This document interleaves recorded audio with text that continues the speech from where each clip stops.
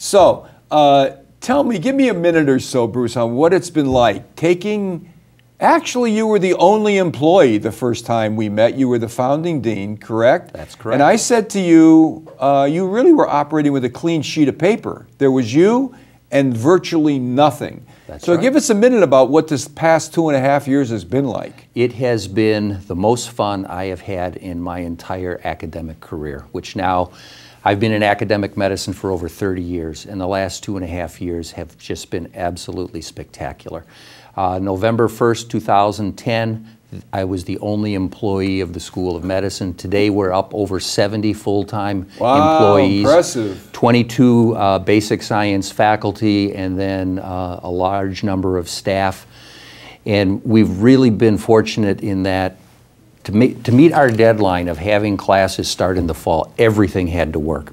Right. And it did because the entire university, from the board of trustees down to facilities management, have been pulling in the same direction. Mm-hmm. And when problems arose, everyone applied themselves to that. And so we're able to hit our deadline because of teamwork. You know, I tell you what, uh, normally when I would hear those words, I would say, well, I hear what he's saying, right? But the reality of it is, you, could, you really could not have done what you have done without the teamwork and without the support of the university in general and the, and the staff, et cetera. Now, among the, all the people that you've hired, that's clinical staff, that's doctors? No, those are full-time paid employees.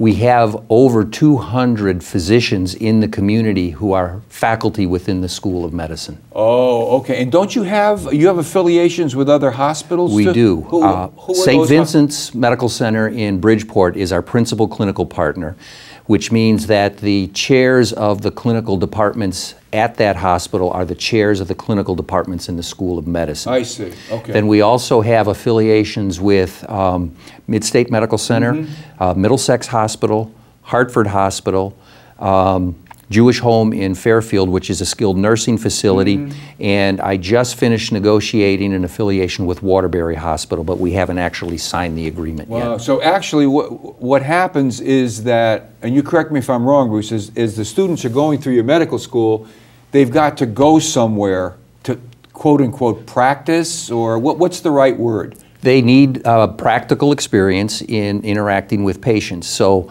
part of that occurs in the hospital, but a big part of it occurs outside of the hospital. Right. And one of the, I think, uh, unique components of our curriculum is what we call our medical student home. And beginning in the first year, students are paired with a primary care physician in the community, and they will go to that physician's office one afternoon a week for three years and see patients together with that physician. Oh, it's a, it's a, a mentorship. It's a mentorship, and we hope that that mentorship uh, causes as many students as possible to choose careers in primary care. Well, I think the other thing too, uh, Bruce, that it does is at a very early stage of their academic career, it gives them, it brings them into the real world right away. That's right. Yeah, and, and that makes a major difference. So the, you had mentioned primary care. I remember you indicating that as part of the founding of the medical school, that the primary areas of interest were going to be primary care and global health care, and there's been a new one that you've added. But let's talk about the primary and the global first. So, uh, with the, uh, if you look at the healthcare system, there is a growing physician shortage. And the greatest segment of that shortage is in the primary care disciplines of family medicine, general pediatrics, and general internal medicine. So we set that early on as something we thought we could meaningfully uh, impact. We also know that uh, the world's getting smaller and spread of disease and all of that can occur in a in matter of hours with air travel. So uh, healthcare is becoming global, and the best way to impact overall global health is from a public health perspective. So that's why we've placed the focus on global public health. We're Excuse me for interrupting. When you mentioned air travel, wasn't that how that? What was the name of that uh, virus? Uh, uh, SARS. SARS. That, that they was- suspected that that came from China. Is that what it Uh, was? That's my recollection. okay. Yes. Okay. And so the way we're beginning to organize the School of Medicine is to have uh, three areas of excellence, if you will uh, primary care, the global public health, and then, um, and I'll explain the, the third one in a minute, uh, veterans rehabilitative medicine. And so we will be building three institutes and an Institute for Primary Care, Institute for Global Public Health, and an Institute for Veterans Rehabilitative Medicine.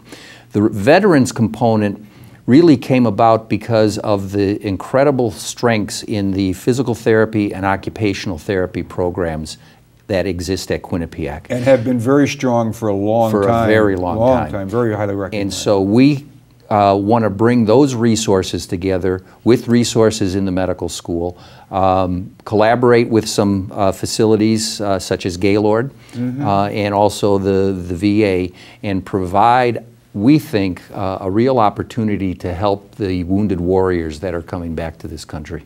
Well, uh, number one, I applaud the effort. Uh, and I would guess, Bruce, as an outsider looking in, not as a medical person, but as a person who follows the news quite, especially veterans uh, work, as I do a lot of work with veterans groups. I mean, the reality of it is, and I don't think I'm being unkind when I say that, the care that's being given to the veterans on a United States of America basis. I mean, all we read is fiasco after fiasco after fiasco of the delivering of what is care that is owed them.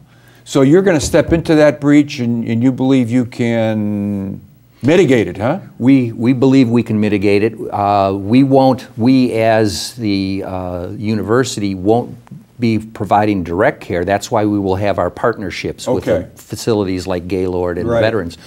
But we think we can bring an academic and research focus to this and get better outcomes for the injuries that these uh, men. Will you have to partner with the federal government to do that, Bruce? Um, we will partner with whoever makes sense to get where we think we need to go. We're not particular. Very diplomatically stated, Bruce. Very- Okay, let's move on to the next topic. The next topic is um, you are in the unique position, Bruce, in opening up the medical school of, and how, how many students coming in, did you say? We'll have 60 in our charter class, 60. That's this September coming uh, in. uh, August 12th. And August 12th, 60 of them come in.